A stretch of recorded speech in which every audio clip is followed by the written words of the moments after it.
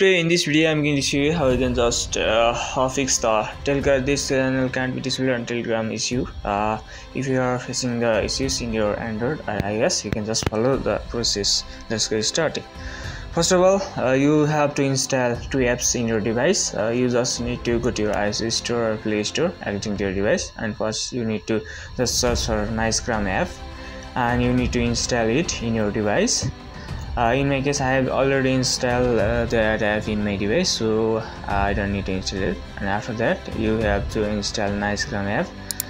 And after that you have to install uh, another app which is Telegram X.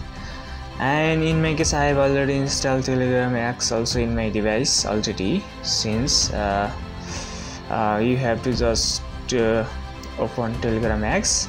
And after that uh, you can see the here is and you have to search for nicegram and just click on start. And after you have just successfully set up the nicegram uh, FEA uh, you have to just go to telegram x and you have to enable this to uh, checkbox and that will do it for you. And wait for it and again just go back to the telegram and you are now able to see everything. And there is no more messages.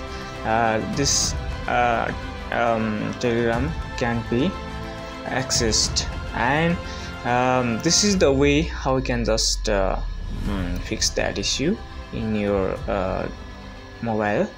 Uh, if you are facing some type of issues then you can use use these two apps to fix that and this is the simple video how you can just do it. And if this video helps you make sure to like. And if you are new here make sure to subscribe my channel.